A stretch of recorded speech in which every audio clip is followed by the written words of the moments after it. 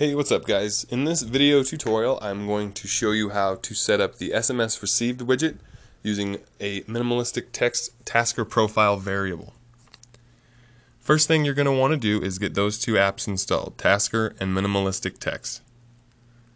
Second thing you're going to want to do is download the zip file in the description of the video, unzip it, and take the Tasker profile and put it on your SD card under the Tasker Profiles folder.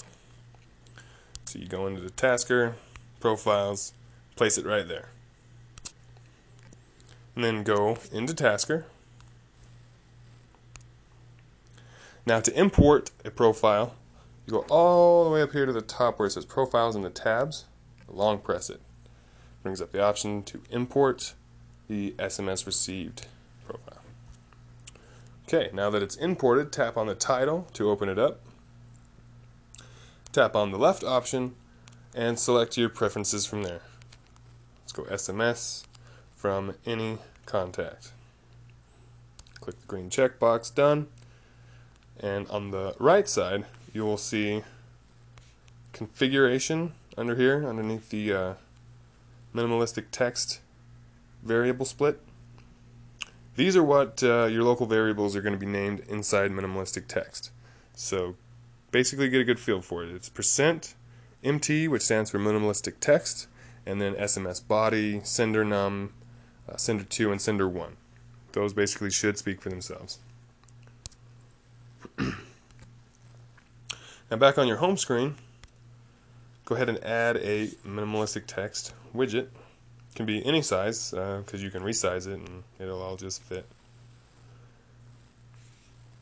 Now to set it up you have to go to you have to scroll down to the layout in minimalistic text preferences and select predefined layout scroll down select custom then go into custom layout and it brings up this dialog box.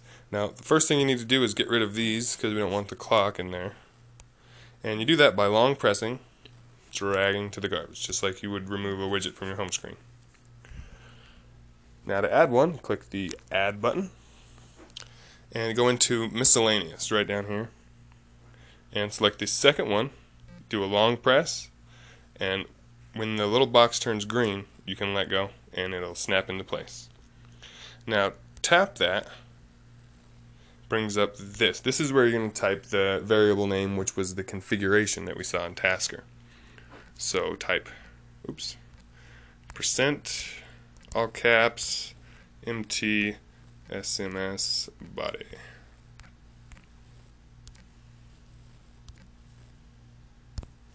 And that's it. Nothing showed up on here uh, because I had to flash a fresh ROM to get the screencast to work. Uh, no one has texted me yet, um, but don't worry. As long as you follow those steps, you know, one by one, everything will just everything will be just fine. And from there, you can tap on the widget and further configure it to your liking. Uh, if you're familiar with minimalistic text, it should be easy.